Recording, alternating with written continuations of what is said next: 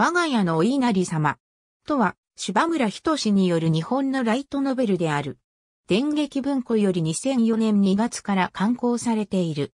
第10回電撃小説大賞、金賞受賞作品にして、作者のデビュー作。第3巻は、電撃文庫レーベルがリリースした999番目の書籍になった。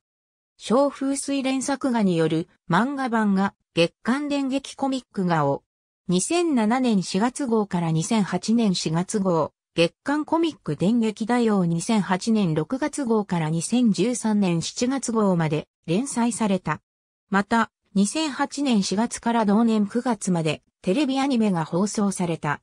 2015年10月時点でシリーズ累計発行部数は82万部を記録している。高浦や三土家桜や宮部や空幻の兄弟2008年4月から同年9月まで全国有局系などで放送された。ハイビジョン制作。わずかな部分での変更を除きほぼ原作通りのストーリーで放送された。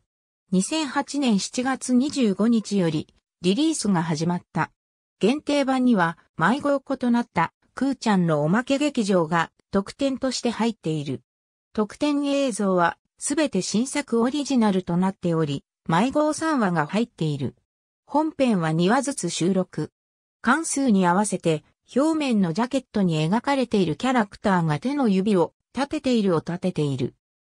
第1巻、2008年7月25日、第2巻、2008年8月22日第3巻、2008年9月26日、第4巻、2008年10月24日、第5巻、2008年11月28日第6巻、2008年12月26日、第7巻、2009年1月30日第8巻、2009年2月27日、第9巻、2009年3月27日第10巻、2009年4月22日、第11巻、2009年5月24日、第12巻、2009年6月26日。